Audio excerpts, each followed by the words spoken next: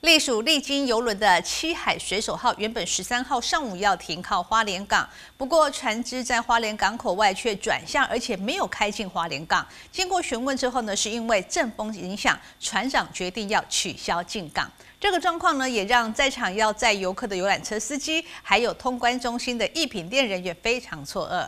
好不容易疫情趋缓，国际游轮旅游复苏，花莲港十三号要欢喜迎接今年度第二艘游轮进港。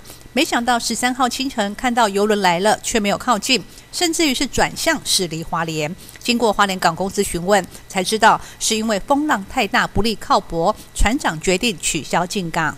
临时取消主要是那个我们港口里面的风力已经达到六到七级，那跟船方那个讨论以后啊，那船方决定就是取消这个进港的一个航次哦。我们规定是七级风啊。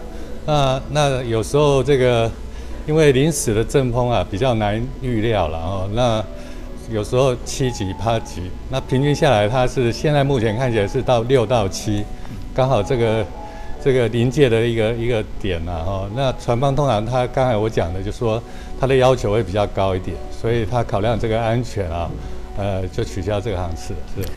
这样的状况也让原本在陆地上要迎接游客的游览车司机和观光业者都非常失望。